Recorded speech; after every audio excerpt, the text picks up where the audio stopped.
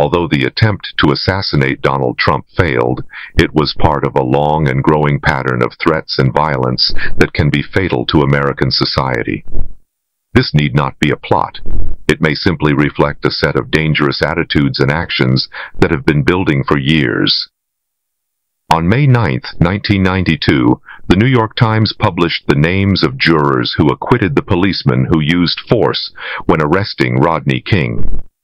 The story included the communities in which the jurors lived and other identifying information about them. Whatever we may think about Rodney King, the police or the jurors. We need to think long and hard about what kind of world we are creating if jurors decide cases based on their own personal safety or that of their families. This applies to witnesses and judges as well, including justices of the Supreme Court. Yet no legal action was taken when mobs gathered outside the homes of justices in defiance of federal law.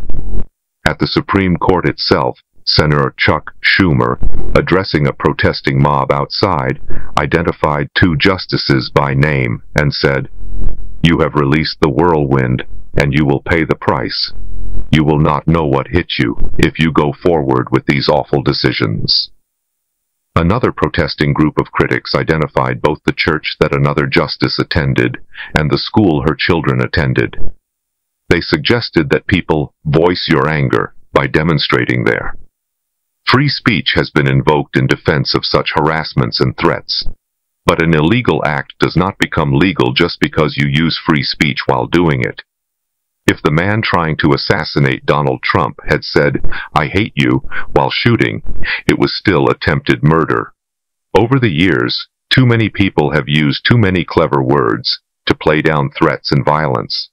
No justice, no peace has been one of the more fashionable phrases.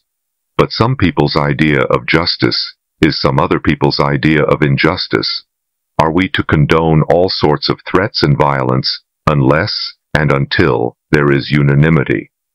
If one side keeps getting away with threats and violence, it is only a matter of time before their opponents also start using threats and violence. At that point, whatever they initially disagreed about is no longer the issue.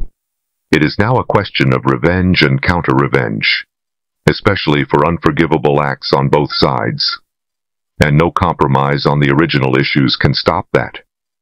If anything positive can be salvaged from this ominous attempt on Donald Trump's life, it may be his defiant response to being shot at.